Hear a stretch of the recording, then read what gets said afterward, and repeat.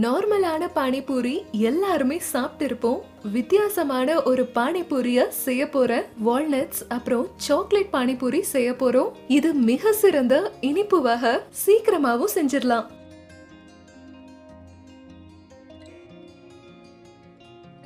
இன்னைக்கு ரெசிபிய நான் சிலியன் வால்நட்ஸை பயன்படுத்தி செய்ய போற சிலியன் வால்நட்டை எடுத்திருக்கேன். இங்க பாத்தீங்கன்னா நான் இதை லேசா வறுத்திருக்கேன். சிலியன் வால்நட்ஸ் பார்க்க வெளிர் நிறமா இருக்கும். நார்மலா இருக்கிற வால்நட்டை விட கொஞ்சம் பெருசாவே இருக்கும். இப்ப சிலியன் வால்நட்ஸ பொடி பொடியா நறுக்கிக்கிறேன் இந்த ரெசிபிக்கு பொடியா நறுக்கின வால்நட்ஸ் தான் தேவைப்படும். பொதுவா என்கிட்ட எல்லாரும் கேக்குறது என்னன்னா எங்க இந்த சிலியன் வால்நட்ஸ் கிடைக்கும்னு? இது எல்லா ட்ரை ஃப்ரூட்ஸ் கடைகள் அப்புறம் சூப்பர் மார்க்கெட்லயும் ஈஸியா கிடைக்கும். உங்களுக்கு இங்க எதுவுமே கிடைக்காட்டி ஆன்லைன்ல கிடைக்கும். வெறும் சிலியன் வால்நட் அப்படின்னு டைப் பண்ணி சர்ச் கொடுங்க.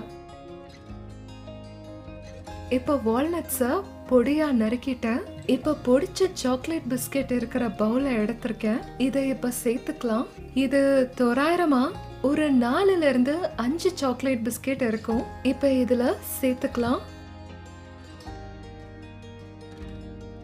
இப்போ இதை நல்லா ஒரு தடவை கலக்கி விட்டுக்கலாம். உங்களுக்கு வேணும்னா இந்த கலவையில சாக்லேட் சிப்ஸை கூட சேர்த்துக்கலாம். இப்போ கலவை ரெடியா இருக்கு. அடுத்து சாக்லேட் சிறப்பை செய்யலாம். லேசான கனாஷ் செய்ய முயற்சி பண்றேன். இதுக்காக நூறு கிராம் டார்க் சாக்லேட்டை எடுத்திருக்கேன். பொடியா கட் பண்ணி வச்சிருக்கேன். இப்போ இதை உருக வச்சுக்கலாம்.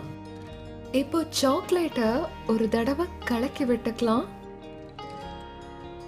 இப்போ இந்த சாக்லேட் கூட நான் நூறு எம்எல் பால் அப்புறம் கிரீம் மில்க சேர்த்துக்கிறேன். அப்புறம் கிரீம் மிக்சர் சேர்த்துக்கிறேன். இதுக்காக நான் ஐம்பது எம்எல் குக்கிங் கிரீம் அப்புறம் ஐம்பது எம்எல் சாதாரண பாலை எடுத்திருக்கேன். ஏன்னா இங்க நமக்கு ரொம்ப லேசான கணாஷ் தான் வேணும்.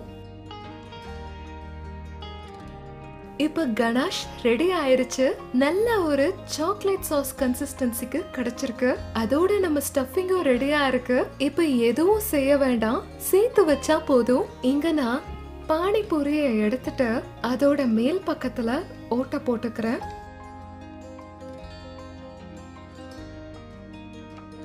அதுல ஒரு பூரிய மட்டும் எடுத்துட்டு நம்ம முன்னாடியே தயார் செஞ்சு வச்சிருக்க ஸ்டஃபிங்க உள்ள போட்டுக்கலாம்.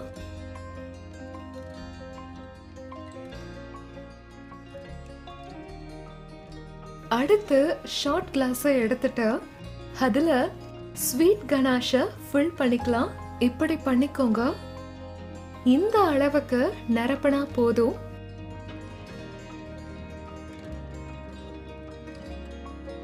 அடுத்து இந்த ஷார்ட் கிளாஸ் மேல இந்த பூரிய இப்படி வச்சுக்கலாம்.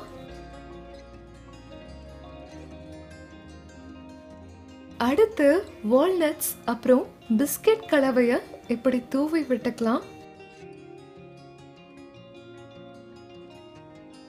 இப்ப இங்க தயாராயிருச்சு வித்தியாசமான சுவையான இனிப்பு வகை வால்நட்ஸ் அப்புறம் சாக்லேட் பானிபூரி. இத நான் இன்னைக்கு சிலியன் வால்நட்ஸ் வச்சு செஞ்சிருக்கேன். இது மிக சிறந்த ஒரு பார்ட்டி டெசர்ட் இத தனித்தனியா சர்வ் பண்ணிக்கோங்க. இப்ப எப்படி சாப்பிடுறதுன்னு காட்டுறேன். இந்த ஸ்டஃப்டு பூரியை எடுத்துட்டு இதுல எப்படி சாக்லேட் சாஸ சேர்த்துக்கோங்க.